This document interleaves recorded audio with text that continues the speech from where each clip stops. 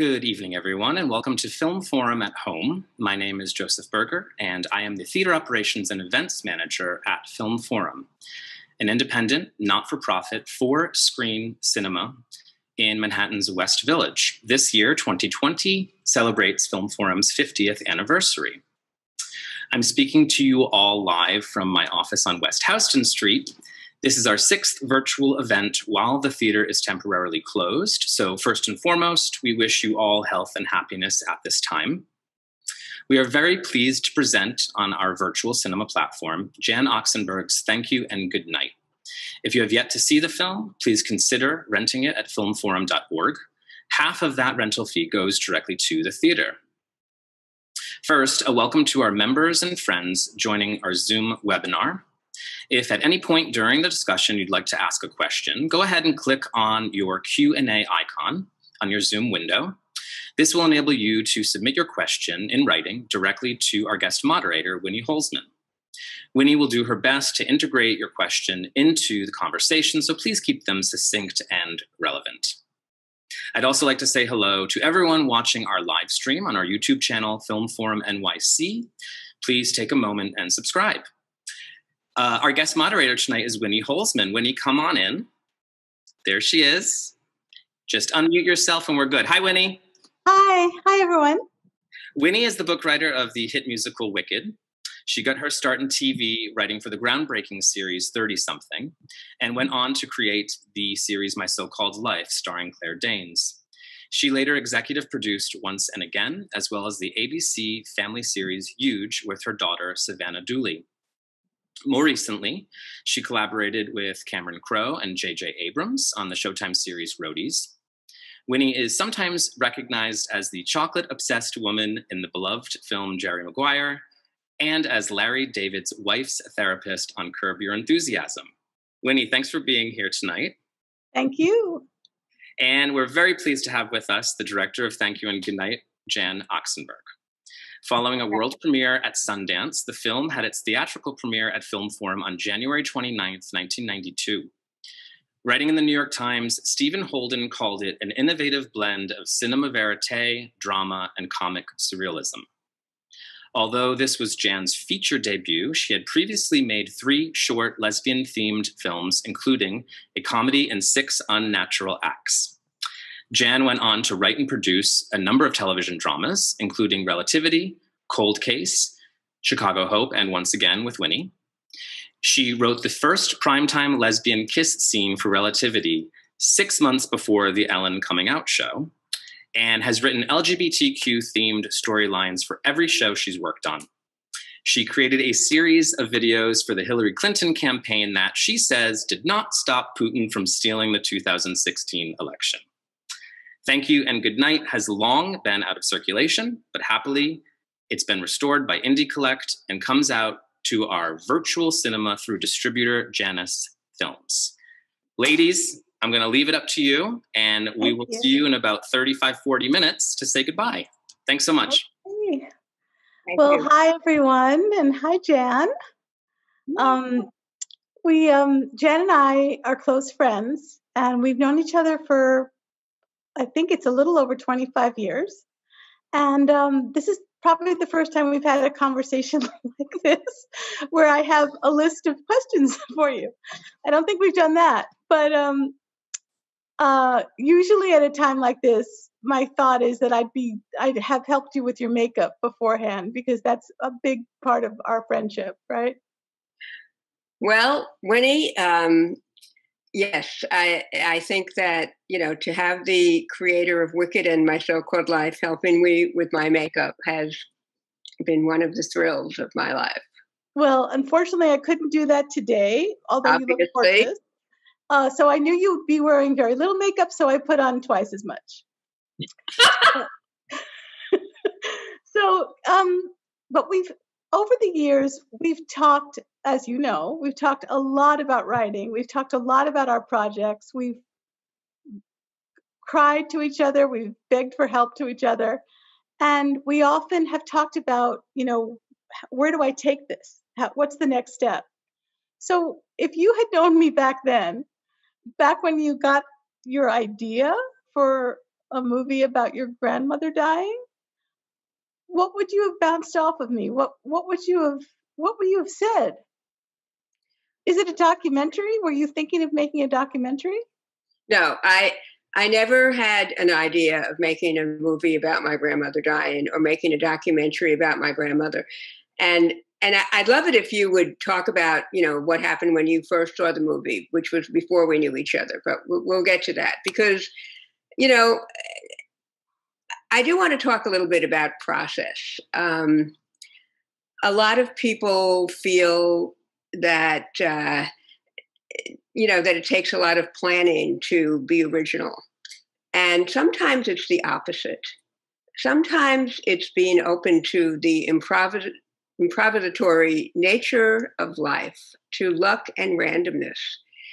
I mean, in a way, this film started when I was 11 when a random, very bad thing happened, which was my little sister was hit by a car and killed. And it was a tragedy that struck my family. Um, and I was there. My my brother was there as well. Uh, it, it, was a trauma. You know, it, it probably. Why, why, do you say the the film started there? I, unconsciously, you know, grappling with death grappling with uh, you know, people would try to comfort me. Oh, you should accept it. You should, you know, it happened for a reason. I w- wanted to kill those people. I thought it's bad enough it happened. That you know, don't tell me it happened for a reason. Right. And uh, you know, many years later, my I I was in my twenties, uh, late twenties, I think. My grandmother got diagnosed with breast cancer. I wanted to have her voice on tape. I went and did a little audio tape with her. She was very funny. She had been kind of taken for granted in the family, I would say, and she came alive when attention was paid to her. One thing led to another. I shot very little documentary footage with the kindness of many people who may be on this Zoom, the New York film community, who at that time, you know, we had an ethos. These things don't happen in a vacuum. Mm-hmm. There wasn't an ethos of I want to be a Hollywood writer. There was an ethos of I want to do something transgressive. You know, we're here to do something different. That's the whole entire point. And so I did, you know, I shot very little documentary footage. And since I had never intended to make a documentary about my grandmother, I didn't know what I was going to do with it. And several years later, I wrote a script around it. I edited the documentary scenes on paper and put it into a script. So it looks like a regular script. And I decided there should be a cardboard cutout character of myself as a five-year-old narrating it. How did that cardboard cutout get get born in your mind? Do you think? Do you can you can you trace back your inspiration for that? Because that's surely i mean that's there's only it, there's so many elements of the movie that are so original and and emotional and surprisingly emotional surprisingly funny surprisingly devastating but those those cutouts they're they're incredible. They're so alive you know, it's I, I, don't know the answer. I was uh, I wrote I wrote the movie. Uh, my friend Carmen Goodyear had a, a, a goat farm near Mendocino, and she's a painter. And I used to go there and work on writing the script. And I believe we smoked a lot of marijuana. I'm not sure exactly which elements. The uh, well, uh, I had seen a movie. Called, I had seen a movie called Our Hitler by Hans Jürgen Syberberg. Oh this incredible seven hour movie that is about how Germany got Hitler. We, we may need a similar movie about Trump soon. And it had every film technique in the kitchen sink. You know, it had documentary footage, narrative footage, puppets, paper mache. And it didn't have any cardboard cutouts, but it, it kind of opened up my mind to how a film that's a a meditation, really. You know, I had this experience, some of it was documented. The film was a meditation on going through saying goodbye to someone you love. Right. And and it seemed like I don't know, cardboard cutouts never die. You know, if I look at it if I look at it in retrospect and try to analyze it, what was the impulse for the cardboard cutouts? There were too many people dying in the movie. Cardboard cutouts never die. But also, you were you you were enlisting your real family in the movie. So was it maybe a way to give a break to to some of your family members so that they didn't have to carry all the all of the casting needs? Because well, I mean, I didn't enlist them. They, uh, you know, they were there and they were, you know, were generous enough to just be themselves. Um, especially my brother Ricky, who's a philosophy professor now, who, you know, is t- says things in an intense way that are very profound about death. Um, my brother Danny, uh, he has one of my favorite lines in the movie. Um, we were eating dinner the night my grandmother died, and he said, and we're talking about how my mother didn't get to the hospital to see her that night, even though I had mm. said maybe you better go, and then she felt bad because she didn't go. And Danny said, "Well, no matter how many times you see her, it's still never going to be enough because you just can't just can't say goodbye, really." I mean, that's I really that. is that that's really one of the main unanswerable questions in the movie i think is how do you how do you say goodbye yeah i mean i've been thinking about it during this re-release and death is about love you know when you're confronted with losing someone you have to think about what is the quality of how i loved this person and that's what this movie really is about um, I do want to mention, not to leave out my sister Julie, she didn't want to be in the movie that much, so her mm-hmm. main uh, her, her main appearance is playing "Take the A Train" on the saxophone. but I mean, it is a it is a, a movie. It's not about your family only, but it is about this, like you say, this trauma that happened that that I understand that none of you had ever had ever talked about really. So this movie became a way for perhaps for you to for you, Jan, to bring up the subject that you'd never been able to talk about about Judy's death?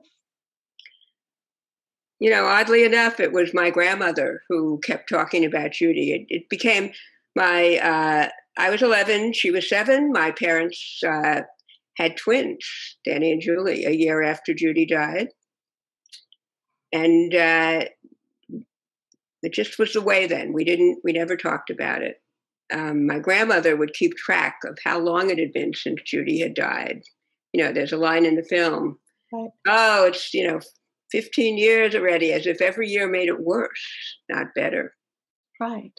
And uh, it was, you know, writing when I wrote the script, I found that I was able to, you know, when you when you make something that comes out of personal material, I feel like you kind of have a responsibility to try to be honest, even if it doesn't make you look good, because what's the point if you're not being honest? Yeah. And so I think I revealed things, you know, about my feelings about my family, good things that I had been too embarrassed to tell them.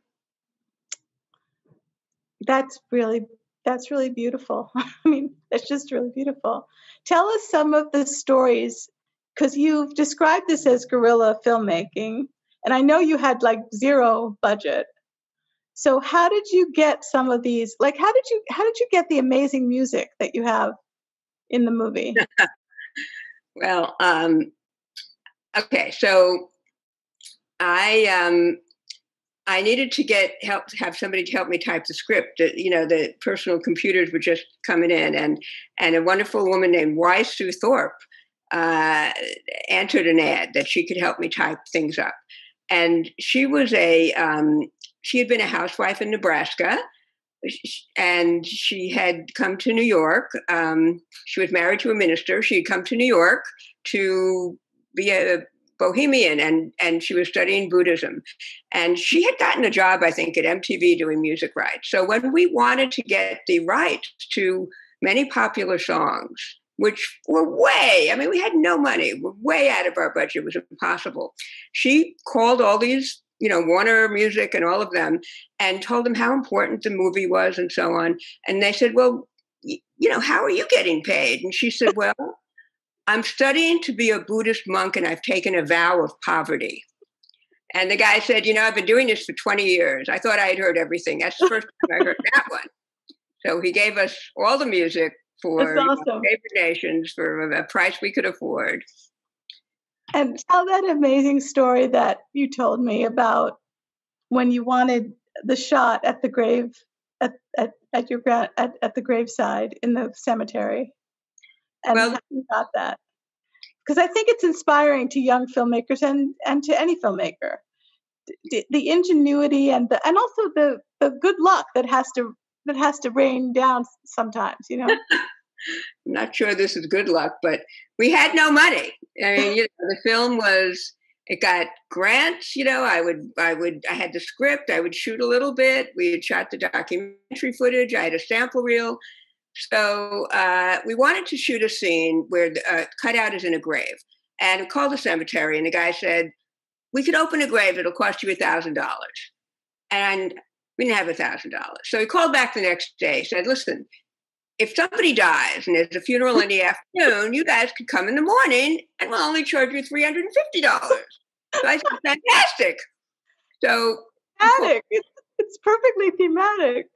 It was our lucky day. He called in the morning. I call everybody, wonderful volunteers working for free or nothing. Hey, come on. We go to the cemetery. You know, we set up, we have the cutout in the grave. Now, their grave digging machine had broken so there was an actual man finishing digging the grave. He's in the movie. Right. But it was taking a little longer. So we put the cutout in the grave, we're shooting, we got the lights, the camera, everything.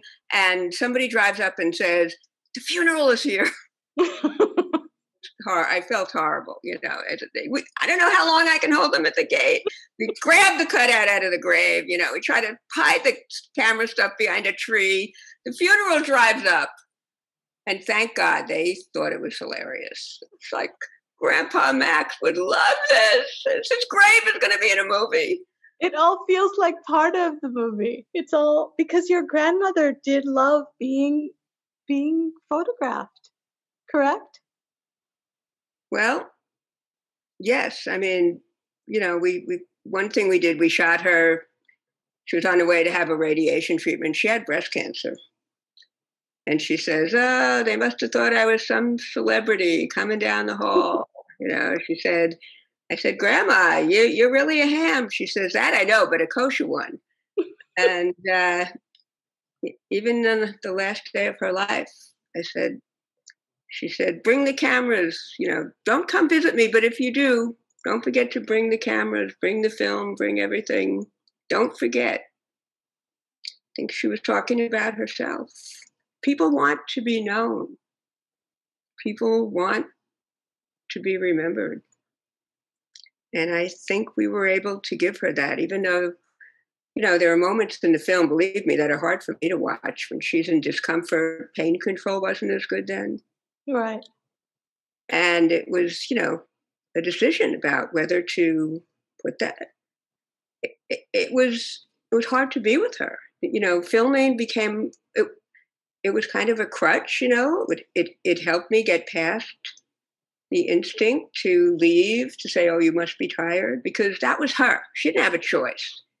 Right. That was her. And that was her disability at the end of her life. And but she was herself right up to the end. And I feel like she didn't she died less alone because we were there for her. And she said it's not in the film, but she said to me skeptically, you know, because people would take little home movies. Uh, how often are you going to take these movies out and show them? She'd be pretty surprised, I guess. This is, yeah, I mean, it's it i mean you must be pretty surprised i know it's an amazing thing to have a re-release and I keep thinking about the time when you made the movie, which was the time of AIDS and the AIDS crisis, and the time that we're in now, which is this other devastating health crisis. And both of these two situations test you so strongly spiritually and in ev- emotionally and physically and in every way um, and it's an odd and fascinating coincidence, don't you think, that this is when your movie comes back? When people are really facing their own mortality in a in a almost in your face kind of way and, and their loved ones mortality yes i am the plague filmmaker um, and hitler was such a though not a great person uh, was so so good to you because he uh, well not hitler himself but that movie was so inspiring for you. So even hitler. Well yes fascism. No, but seriously, look, this is a movie that, you know, I used to joke. This movie has every word in its description that would make somebody not want to see a movie, including me. You know, grandma, cancer, dying, documentary now has cachet, but back then it didn't. Cardboard. oh, yeah. Who's it starring? Who's in it? Oh, a cardboard cutout.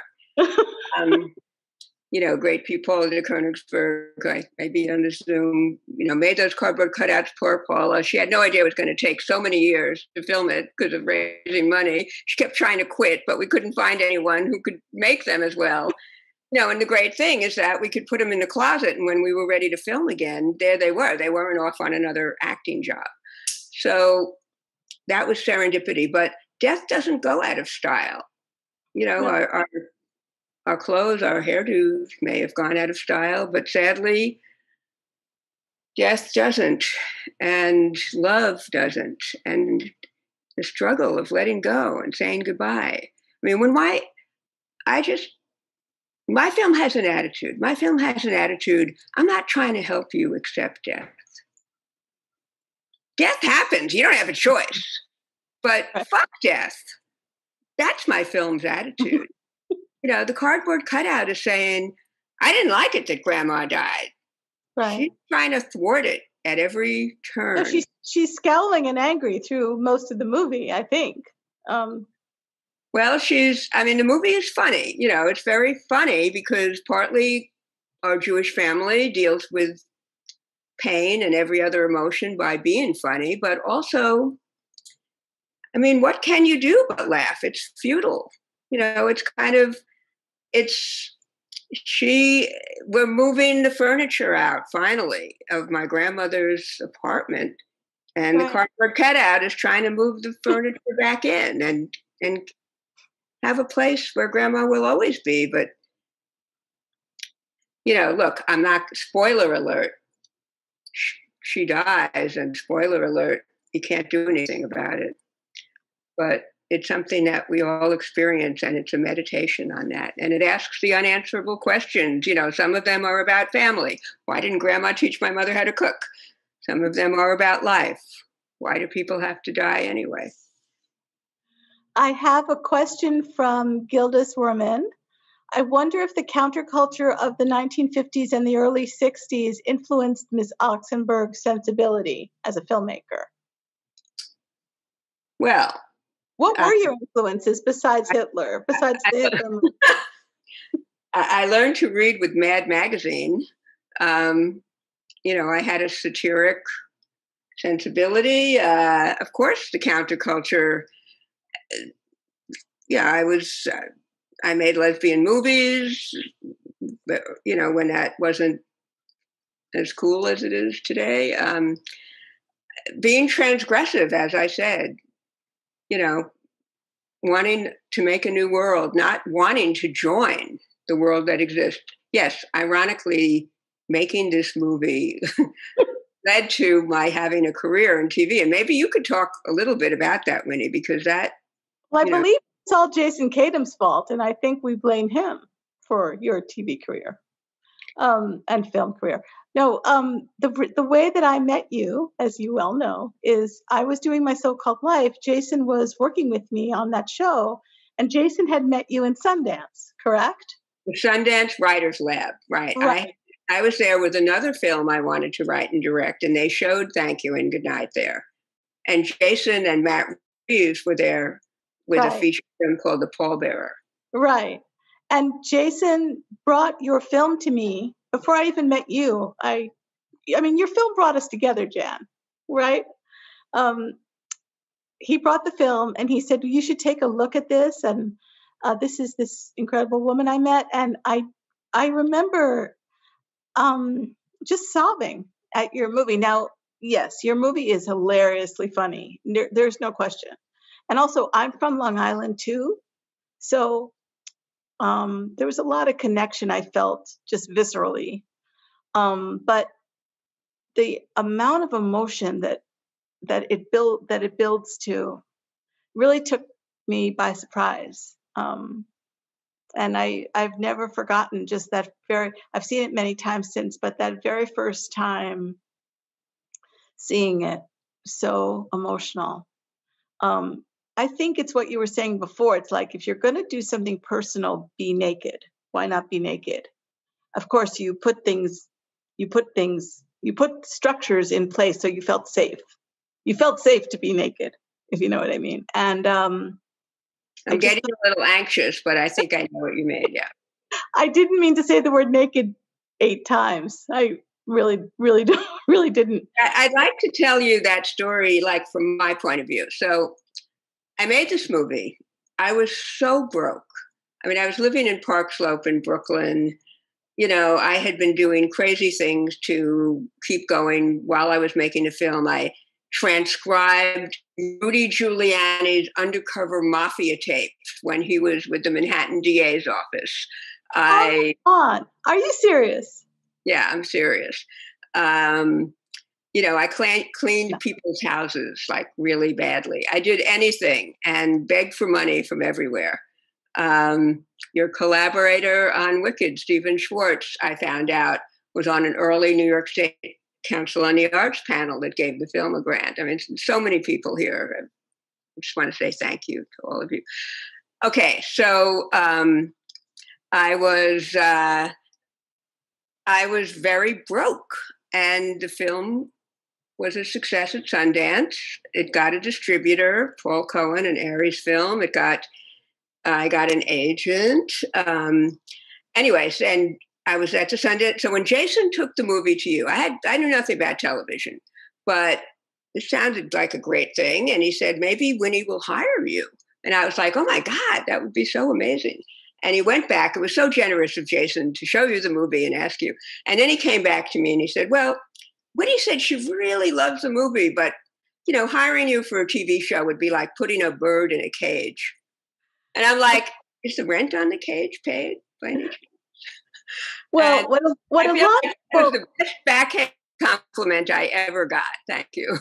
You're very welcome. I mean, we got a whole friendship out of it, and and it's not just an an ordinary friendship because I think not that there's any ordinary friendship, but we do use each other quite a lot to foster and promote each other's different creative projects that we're working on. So we um, you know, we only worked together that officially that one time on Once and Again, but I think of us as working together a lot because we are so we use each other for for help basically for for guidance and for to bounce ideas off of um, i'm wondering if there's another i question i should ask. Let me just take a look.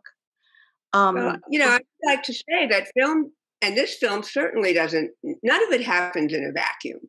I mean it happens you know creatively out of a community of people who have an intention. Um, for example james Schamus uh, was the co-producer on the movie and uh, you know he helped me see the role of my sister's death which you know had really kind of been buried in the script he helped me bring that out um, he was skeptical about it. Uh, Lynn Holst uh, was working for American Playhouse and Sandra Schulberg. Lynn what came and what I did finally, here's what I did. I, because I had this documentary scenes and I had some of the scripted scenes shot. And I had a script, but still nobody believed it would work.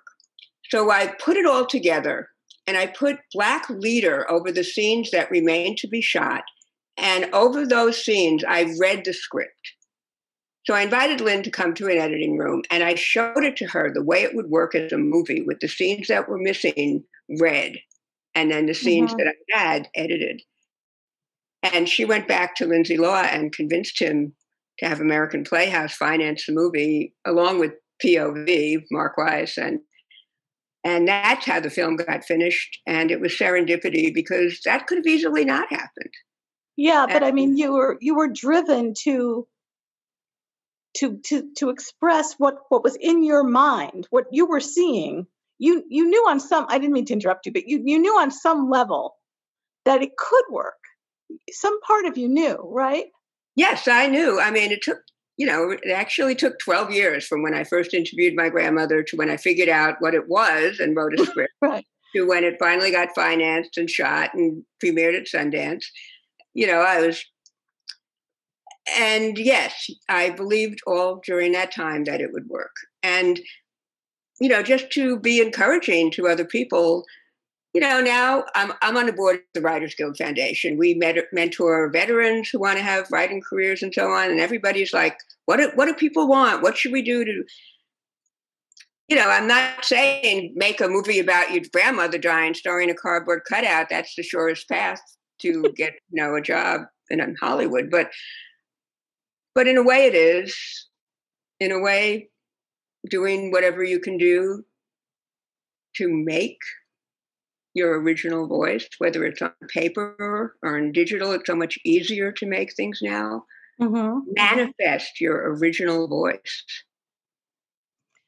And there's also this thing that I think about a lot lately, which is that in any creative pursuit, in any creative project, there are times, and sometimes I've experienced there's multiple times, but there's always one time, at least, where it appears that the entire project has fallen apart and is on, and it will not continue and is useless, basically. It's not going to be born, or however you would put it.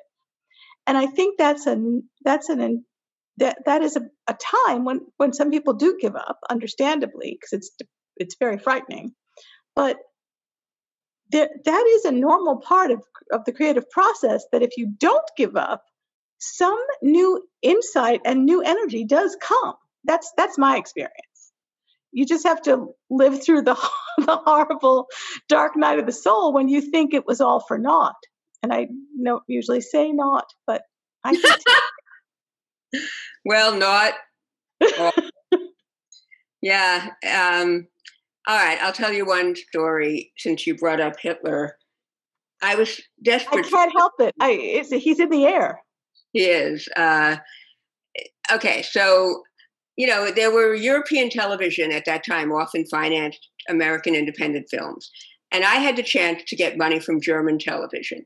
And I really needed the money, and I was waiting to hear. I was going to hear the next day whether they were going to give me the money. But I was feeling kind of a little guilty because although my grandmother herself wasn't in the Holocaust, she her family had come earlier, but certainly relatives of theirs perished in the Holocaust, and you know it was. I mean, she literally would whisper when she talked about being Jewish, even here. So I thought, oh my God, you know, how would Grandma feel if she thought her film was being financed by German television?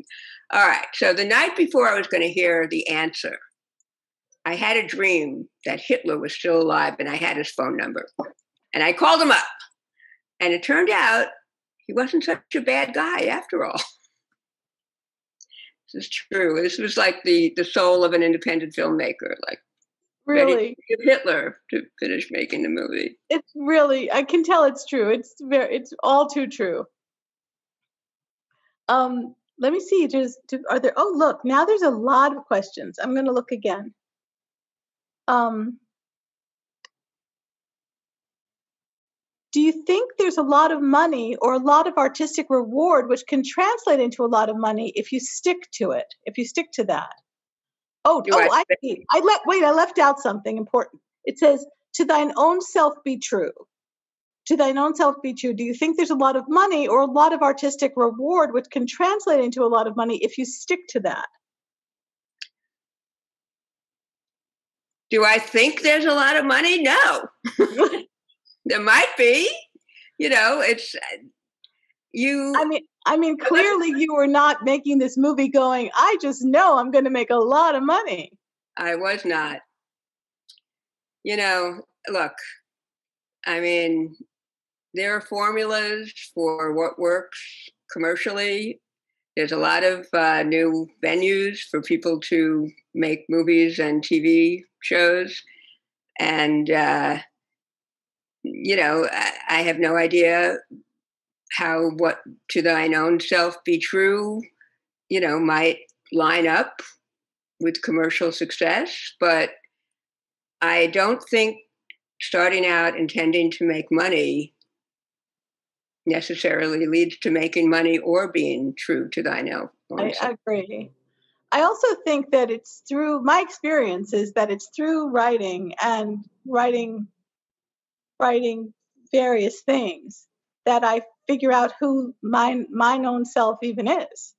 I mean, I don't I don't know how I personally don't know how I would have and not that I'm I'm real clear who I am all the time, but I, I, I discover what I even think or what I even feel while while writing. So yes, that is very much how this movie came into being. I went through an experience of saying goodbye to my grandmother, who I wasn't as present with. You know, I left home. I moved to California. I wasn't close. I had never told her I was a lesbian, though she probably knew. She was more of a feminist than I ever knew. I probably alienated myself from my family more than I needed to out of fear that they would reject me, even though they didn't. So, you know, making this film was a way not only of reconnecting with my family, but also of figuring out what I had to say about being a, a person who had experienced death in in a tragic, violent way as a child and in a completely normal way as an adult. We all lose parents, grandparents, siblings. And it was a way of me figuring out what I had to say about that and saying it. And do you feel like your your feelings or your attitude toward death if this if this is a question i saw in the in the q&a do you feel like those feelings have altered at all or or transformed as you've gotten older? Well that's interesting because you know there's a part in the film where the cutout lies on a therapist couch. It's, it's so that's one of the most adorable images in the whole film. Very, you know, the therapist's voice to perfection. If you don't close the door, you can't open the door. Letting go doesn't mean it means you're putting them into memory. You know, the the importance of letting go obviously allows us to go on with life and we kind of have no choice.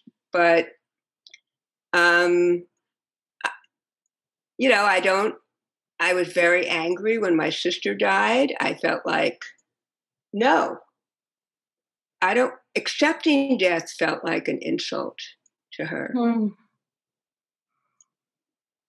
And now, you know, there's another line in the film that says, uh, my mother and I walk into my grandmother's apartment to start packing it up, and there's narration says, Well, now there's just my mother between me and death.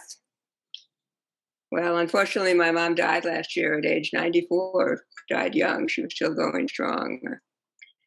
So now there ain't my mother between me and death. And the whole world is having a consciousness, whether we think about it every day or not, whether we're thinking about you know how Trump has made masks into a culture war and we're turning into fascism and how could people not care that 200,000 people are dying?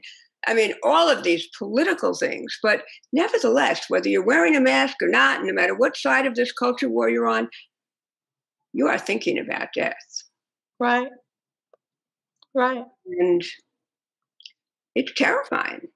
You know it's so I'm not sure, you know, I call it the unanswerable questions. Thank you and good night is a meditation on it. I certainly don't have the answers. And do I accept it more? And do I see the value of letting go? Yes. And no. you want to give some some advice to young guerrilla filmmakers? I would like to say one more thing about this. Sure. You know, when my sister died, lying there in the street, was, you know, traumatic to see her lying in a pool of blood, literally. And I felt like, you know, what we get to do is make meaning out of this. The idea that it had meaning, that God did it for some reason, didn't appeal to me personally. That wasn't a comfort to me. It is to many. What was a comfort to me was the idea that we get to make meaning out of that. And make art or make love or make family or whatever kind of meaning we get to do that that's that's what it is for us. That's so important and profound to me and i feel like it is answering the question of advice to young guerrilla filmmakers because that's what you that can be your north star that i mean there's I've had advice in my life where I've I had somebody who I admired said say write something that will change your life. And I had another person later who I admired also who said write something that scares you. And it struck it strikes me that you did both. You you wrote something that changed your life. I mean, those 12 years you were you you evolved into a filmmaker and you evolved into a person who could go to Sundance and meet meet and you know go to LA and start a whole other career. I mean, you that and and and in more internal ways, the movie more more emotional ways. I'm sure the movie completely transformed a lot of your life. But also, you were facing something that you were facing your fears in making that movie. I feel it is the responsibility of an artist or a writer. You know, if you're going to use personal material, it's your responsibility to make it entertaining yes. and emotional enough to earn other people's time in watching it. That's really well put. I, I hope somebody out there was writing that down. That was good. Um, I agree and it's not easy. And, you know, I have letting go wasn't a big skill in my family. so I didn't let go of making the movie, you know, parallel. I didn't have much documentary footage. That kind of paralleled the experience of someone dying and you didn't have enough time with them. You didn't get to say this or that. We didn't get to shoot this or that. Necessity was the mother of invention that's why this film exists because I didn't have any money to make a documentary. There was no documentary crew following us around. We did some recreations where you see the cutout seems to be there while the documentary footage is happening. Don't tell anybody. But uh, there wasn't actually a rocket ship taking off from my mother's staircase while we were sitting in Shiva, believe it or not. Oh, man. Okay, well, I feel like you I hope people feel like I answered, I asked the right questions. Can I just tell one more story? Because in honor of my mother, who I really miss. Yes, yes, of course. She ended up writing an advice column. Her motto was, Take my advice, I'm not using it, which was kind of true. Okay, so my mother was so cooperative. I mean, in the movie, she said, Jan, can we get this over with already, please? But I told her to say that. and she didn't have to do a lot of research, but she so here's, I just want to end with this one story. So I oh. wanted to shoot a scene where there was a lot of dirt on the grave, you know, because I'd seen they put these huge piles of dirt, and I thought it was very dramatic looking. For whatever reason, on my grandmother's grave, there was very paltry amount of dirt. So first we went to the cemetery with a pail and a shovel and some friends, but we couldn't get enough dirt there. So I asked my mother if she wouldn't mind calling the cemetery and telling them that she was very upset that there wasn't enough dirt on her mother's grave. And that she knew her mother would be very upset to feel that her grave had less dirt than everybody else's. And my mother said, They're going to think I'm crazy. And I said, Yes, You have to make them think you're crazy and tell them that we're coming next week. You're bringing everybody. So they have to do this. Oh my gosh. And she did it. She did it. That, and talk about love. She did it out of pure love and belief and faith in you. That reminds me of this thing that I've seen you say before about the movie that I really relate to, which is that in the movie, there's these three generations of women, and your mother didn't want to be her mother, your grandmother. She didn't want to grow up to be your grandmother. And you didn't want to grow up to be your mother. But you got to do this thing that neither your grandmother or your mother could ever have, could ever have done. They just it wasn't in their world. Well that's right. Talk about feminism. You know my grandmother i found out resented the fact that she had to change her name when she got married i had no idea she was much more of a feminist than i ever knew my mother was an extremely talented writer who didn't as easily have the opportunities that I had. And I had the opportunities that I had, and we're still fighting for women's place in the world. And uh, keep fighting. Well, that's a that's a great place to to end. I think I I hope that. Um, oh, hi, hi, Joe. You know, this was our sixth virtual event, and I think it was my favorite. So you I, say that to everyone I know. I'm, I have the receipt. Anyway, you, can go, you, can go, on our YouTube channel and see that this is the first time I've said this. This was a really, um, oh, it was really be- beautiful conversation. So I want to thank you guys so much for um, speaking so eloquently about so much. And um, I always, I do wrap usually with this um, question to both our moderator and our guest. I was wondering if you guys are working on anything right now, if you have anything down the pike but also has the situation we've been in for the last six months um, influenced how you're working right now or what you're working on? Do you want to start, Jan? Oh, what am I working on? Hey, check back in 12 years. no, I hope not. Can't go on having that timetable. Um, but I am stubborn about, you know, I have some uh, uh, TV shows actually and movies, scripts that you know haven't gotten made yet. Hoping to get a little boost from this. Um, uh, so I, you know, Winnie and our friend Jason, when we saw the movie last year, we kind of talked a lot about how to be really original in our work and and inspiring each other to do that. And I'm working on trying to I'm actually also hoping to make a short feature documentary weird thing to go along with the I'm very grateful to Criterion when they release it on Blu-ray. I'm going to do a little extra thing, updating it. And I also just want to thank the Film Forum. This movie premiered at the Film Forum, and I'm very Amazing. grateful that you showed it this week. That's thrilling. And she and Joe was asking, how has has the pandemic, um, our current situation, influenced your your creative life or your thoughts?